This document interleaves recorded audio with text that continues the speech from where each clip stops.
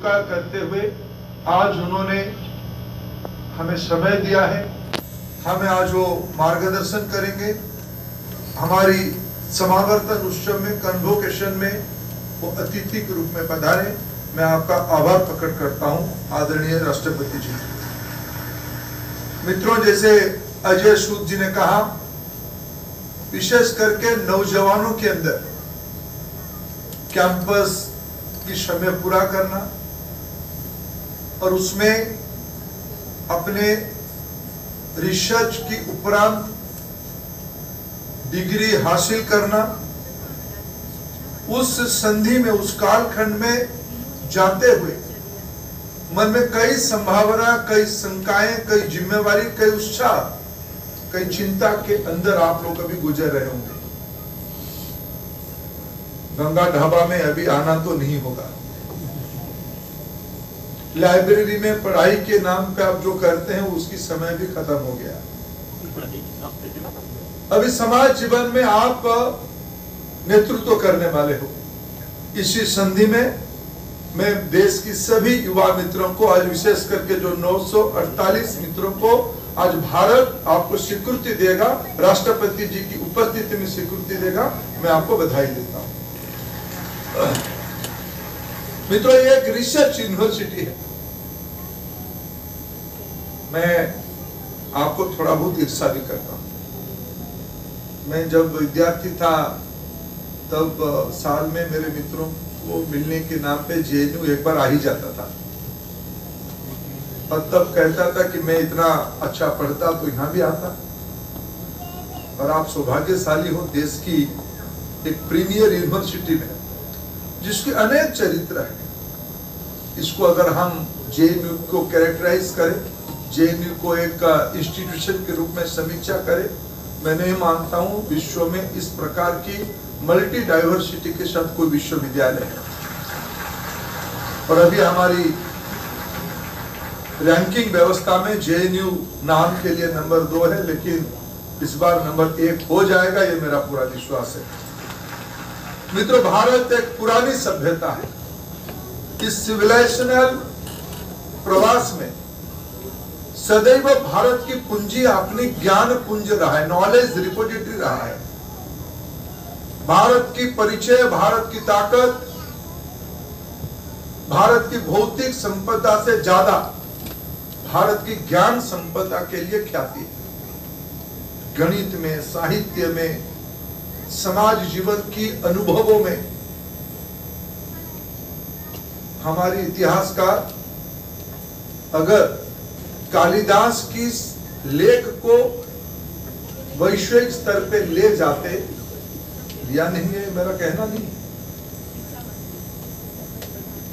या रविंद्रनाथ टागोर जी की साहित्य को और प्रभावी ढंग से रखते तो आज शेक्सपियर की लेख से हमारी लेख ज़्यादा प्रभावित होता। यही सारा विषय हमारी साहित्य में भी सदियों पहले है।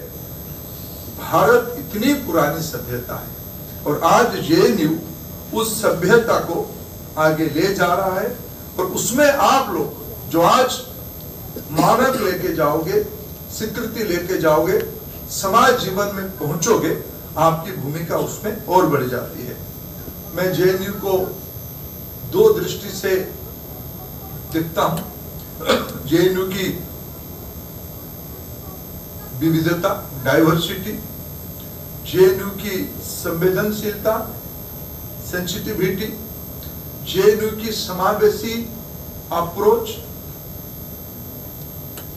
जेएनयू की समता युक्त वातावरण इक्वालिटी जेएनयू की गुणवत्ता क्वालिटी और जेएनयू की अफोर्डेबिलिटी जिसे कहा गया, यहाँ कहूँ कौन आता है?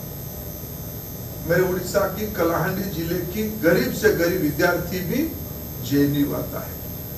देश के हर एक ज़िले की विद्यार्थी जेएनयू की जो अनोखा प्रक्रिया है, उसमें पहुँचता है।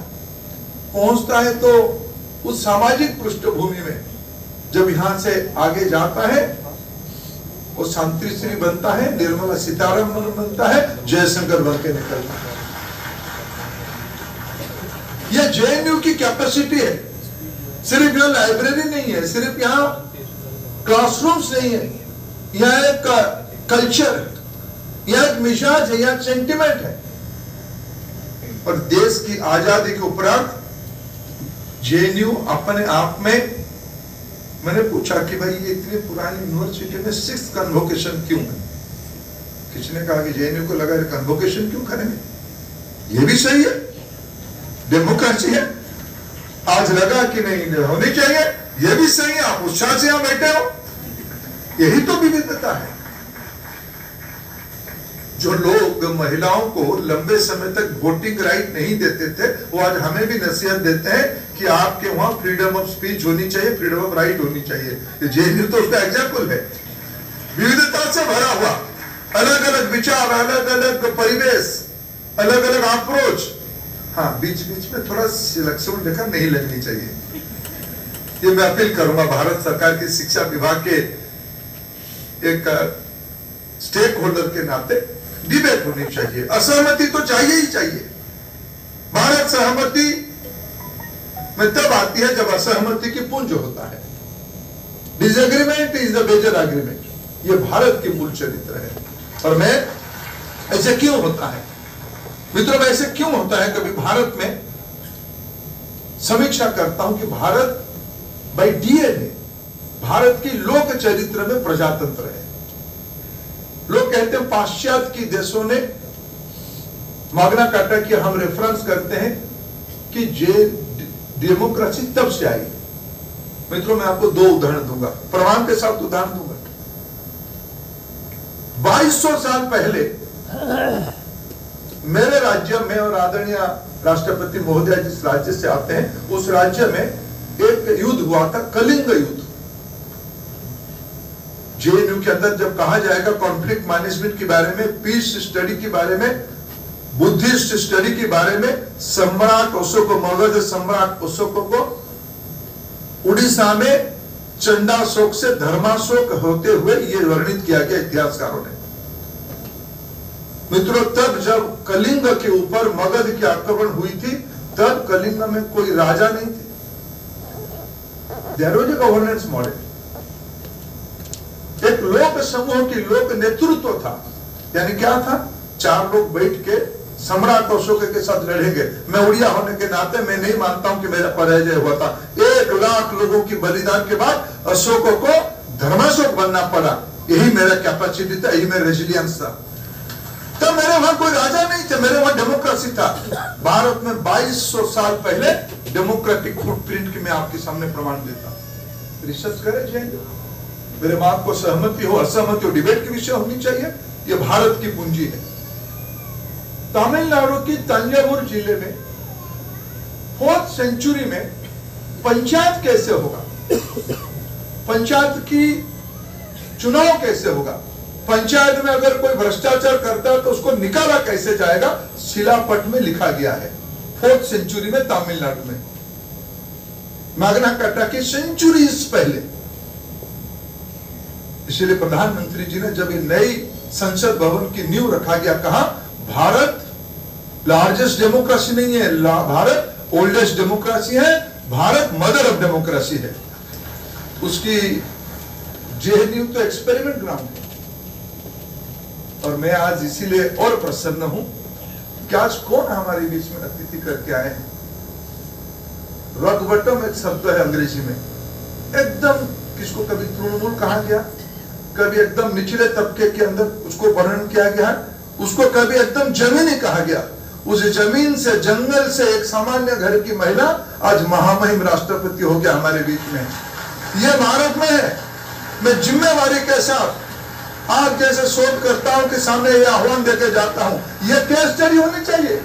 क्या दुनिया में पचहत्तर साल की आज़ादी के उपरांत जब हम अमृत महोत्सव मना रहे क्या भारत दुनिया में कोई देश अपने गवर्नेंस सिस्टम पे इतनी एम्पावरमेंट किया है क्या? ये जेएनयू की ह्यूमैनिटीज की स्टूडेंट्स की शोध की विषय होनी चाहिए। तो ये जेएनयू की कैरेक्टर है। हम आज हम आज़ादी के अमृत महोत्सव पूरा किए। अमृत काल में प्रवेश कर रहे हैं। आज जो लोग डिग्री लेके जाएँगे, जो युवा साथी डिग्री लेके जाएँगे, और सामूहिक रूप में जेएनयू से अपेक्षा क्या है समाज की? भारत की क्या अपेक्षा है? लोगों की क्या अपेक्षा है? सभ्यता की क्या अपेक्षा है? मनुष्य सभ्यता की क्या अपेक्षा है? मित्रों, भारत अभी जी ट्वेंटी की अध्यक्षता कर रही है। उस अवसर पे प्रधानमंत्री जी ने एक नया फोरम बनाया। ग्लोबल साउथ की एक सबमिट किया इन दिनों। विश्व के 130 से ज़्यादा गरीब देशों को एकत्रित करके ये कहा, आप तो जी ट्वेंटी के सदस्य नहीं हो, लेकिन भारत आपके गारंटर है। हम आपकी अपेक्षा और आकांक्षा को देश, विश्व के संपूर्ण देशों के सामने रखेंगे और आपकी आवाज़ हम बनेंगे। मित्रों 130 से 130 देश भारत की उस आह्वान पे एकत्रित हुए हैं और अपना अपेक्षा को रखे। मैं सौभाग्यशाली हूँ, उस प्रोसेस में मैं भी हूँ। मैं इसलिए इस विषय को आपके सामने रखा, आपने पीएचडी किया है। आप सिर्फ़ एक का कैरियर नहीं बनाओगे। आपके ऊपर देश के 130 करोड़ लोगों की भरोसा जुड़ा हुआ है। आपकी रिसर्च आपकी डॉक्यूमेंट आपकी आगे की ज़िंदगी की आउटपुट सिर्फ़ आपकी नहीं है। ये देश की है, समाज की है ह्यूमैनिटी की है। यही जेएनयू की चरित्र है। जेएनयू की विद्यार्थी जब पढ़ के जाएगा, ये वैश्विक नागरिक होगा। इस प्रकार की एनविजन हमने इस बार नेशनल एजुकेशन पॉलिसी में किया है। मैं आपको निवेदन करने आया हूँ आपके समावर्तन समारोह में। आप आपके बारे में सोचिए। देश को आज़ादी का 75 साल हो गया। आने वाले 25 साल में हमें विश्व को, विश्व की जिम्मेवारी लेना रेस्पॉन्सिबिलिटी लेना है। प्रजातंत्र की और एक शर्त है। सिर्फ़ मांग करने से नहीं होगा। अधिकार ज़ाहिर करने से नहीं होगा। मित्र अधिकार ज़ाहिर करना उचित है ये डेमोक्रेटिक राइट है लेकिन अधिकार तब पूरा होगा, दस लोगों के अधिकार तब पूरा होगा, एक कोई अगर जिम्मेवारी लेगा। मैं इस 948 युवा मित्रों से जिम्मेवारी लेने की समय आई है। आप जिम्मेवारी लोगे, ना केवल आपकी निजी आवश्यकता आपकी राज्य, आपकी देश, आपकी परिवार वैश्विक नागरिकों की ग्लोबल साउथ की रिस्पॉन्सिबिलिटी आप लोगे, इसी संकल्पना के साथ आप यहाँ से जाओगे और मैं अंतिम निवेदन करना चाहता हूँ। जेएनयू की संस्कृति के बारे में भी कहा। मैं परम आदरणीय राष्ट्रपति जी के सामने इस विषय को कहने का दृष्टता कर रहा हूँ। देश के कुछ कैंपस में एक आधा घटना हो जाती है। हमारी कोई दुर्मूल्य चीज़ भगवान की दया से हमको मनुष्य की ज़िंदगी मिलती है। प्रकृति के नियम से हमको मनुष्य की ज़िंदगी मिलती है। जब कोई नन्ही कली मुरझा जाता है, सभी के मन में कष्ट होता है। एक सामाजिक चुनौती हम सबके सामने है। भौतिक अपेक्षा पूरा करना ही चाहिए, लेकिन वो मनुष्य है। जेएनयू ने अपना एक निशान खड़ा किया है, जिसे मैंने कहा, कोकराझर का विद्यार्थी भी आके गढ़चिरौली का आदिवासी लड़का भी आके यहाँ आगे चल के देश की अच्छा प्रशासक बनता है। आदरणीय राष्ट्रपति जी भी उसकी एक मिसाल है। हमें कोई अधिकार नहीं है, कैंपस में कोई भी सामाजिक पृष्ठभूमि में कोई आए, उसको हमें आदर करना है। हमें उसकी हैंड होल्ड करना है, उसको हमको स्नेह देना है। हमारी घर की बच्चा है। ये हमारे संविधान में लेख है और प्रधानमंत्री नरेंद्र मोदी की सरकार उस संविधानिक जिम्मेवारी को पूरा करने के लिए कमिटेड है, कटिबद्ध है। उसमें हमें आपकी सहयोग चाहिए। आपकी मदद चाहिए। क्वालिटी और नंबर और डिग्री इसकी कोई अर्थ नहीं अगर मनुष्य नहीं होता है।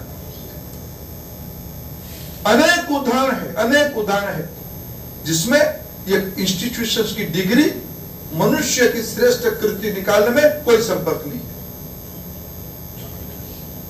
आज इसीलिए कैंपस में मनुष्य ज़िंदगी की, विशेष करके नई पीढ़ी की ज़िंदगी को संभालने की दायित्व तो अनुभवी प्राध्यापकों की है, सीनियर्स की है, सीनियर क्लास की स्टूडेंट्स की है। जेएनयू ने उसको अच्छी खासी एक कल्चर करके डेवलप किया है। इसी कल्चर को राज्य देश के अन्य इंस्टीट्यूशन में भी जाए। इसी अपेक्षा के साथ पुनः आप सभी को मैं बधाई देता हूँ। अनेक अनेक शुभेच्छा। धन्यवाद।